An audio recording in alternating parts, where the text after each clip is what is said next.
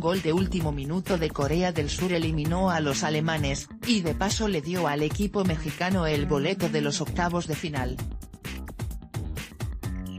Pese a dar una de las peores actuaciones en la gestión de Juan Carlos Osorio, cayendo 3-0 ante Suecia, la selección mexicana logró avanzar a la rinda de octavos de final no por méritos propios, sino gracias a una terrible actuación de Alemania que terminó perdiendo 2-0 ante Corea del Sur.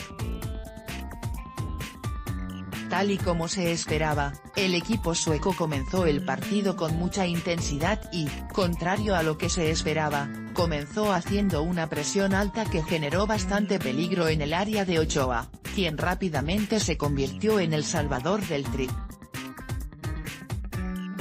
México también tuvo para abrir el marcador a través de Carlos Vela, quien en los linderos del área sacó un disparo de pierna zurda que pasó a centímetros del poste.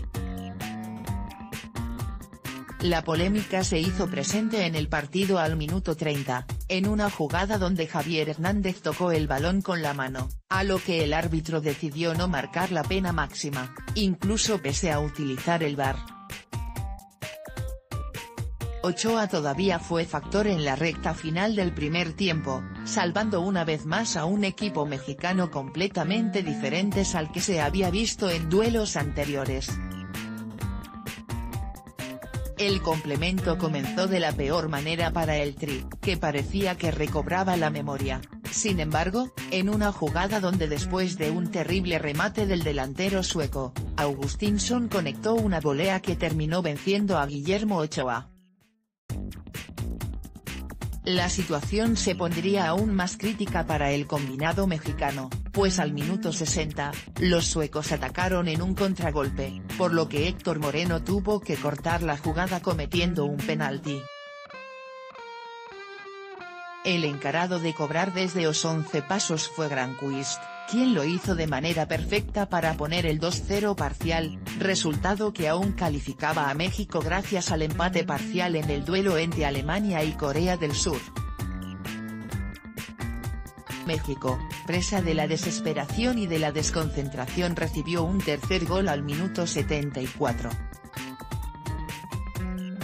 Fue en un saque de manos de Suecia que cruzó toda el área grande, donde Edson Álvarez, en su intento de rechazar el esférico, cometió un tremendo error y encajó gol en propia puerta. A pesar de un par de intentos, el equipo mexicano no logró marcar el tanto de la honra, por lo que todo dependió de Corea del Sur, que empataba sin goles ante una terrible Alemania, lo que le daba a Tri el pase a los octavos de final. El pase a la siguiente ronda se terminó de consumar cuando Corea del Sur marcó un gol de último minuto en el encuentro ante Alemania, el cual terminó 2-0, dejando a los teutones fuera y, pese a el terrible partido, a los mexicanos dentro. De esta manera, México avanzó como segundo lugar del grupo F, con lo que enfrentará al primer lugar del grupo E, el cual saldrá entre Brasil, Serbia y Suiza.